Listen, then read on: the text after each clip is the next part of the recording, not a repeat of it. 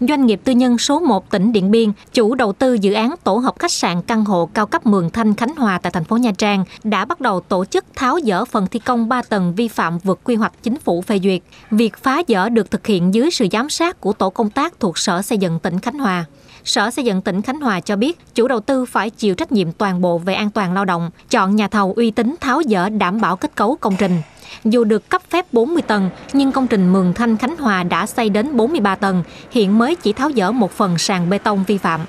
Phương án giải pháp phá dỡ phải đảm bảo an toàn tính mạng, sức khỏe, vệ sinh môi trường, phòng chống cháy nổ, đồng thời cam kết thời gian thực hiện việc phá dỡ phần công trình vi phạm và gửi về Sở Xây dựng và Ủy ban nhân thành phố Nha Trang để kiểm tra giám sát theo đúng quy định. Dự kiến thời gian tháo dỡ 3 tầng xây vượt trần Mường Thanh Khánh Hòa là 2 tháng.